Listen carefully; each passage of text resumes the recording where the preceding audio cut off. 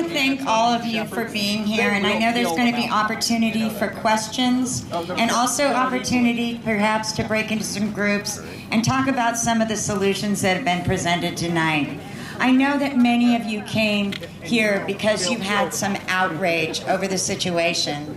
That outrage may be about the livestock you've lost or the pets that you've lost.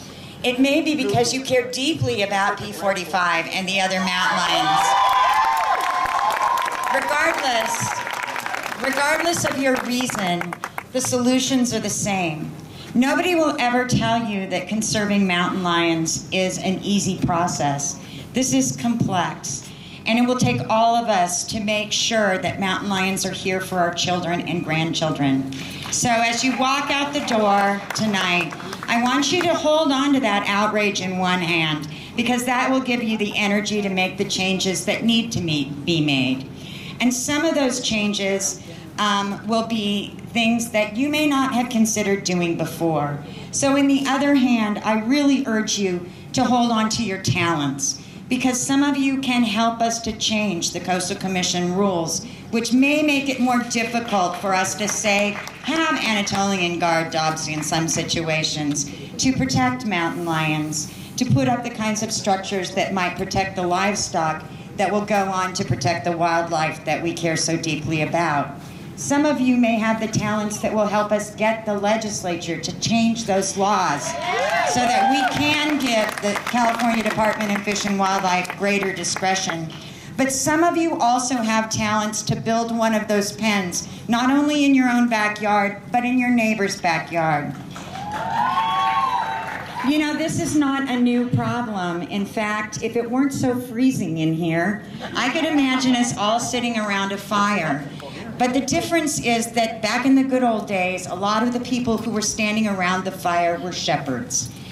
Traditional cultures care for their animals because they have to. They depend upon livestock for their livelihoods and for the survival of their children.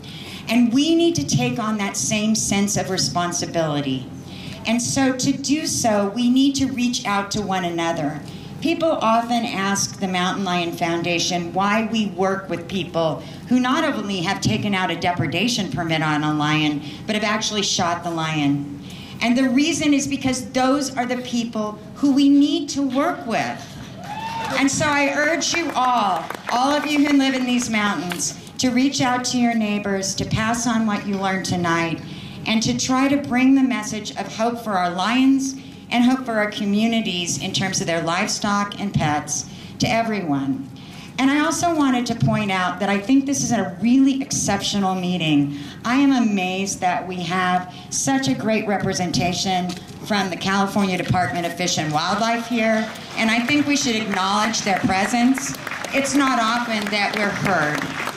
And I think we need to give a great deal of thanks to national parks.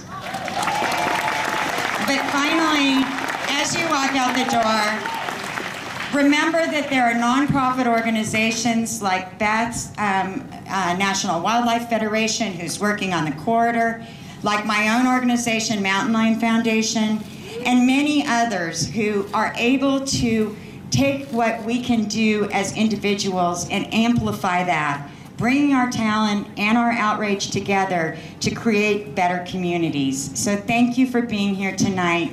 And let's go make this a great place for mountain lions and a great place for livestock and pets.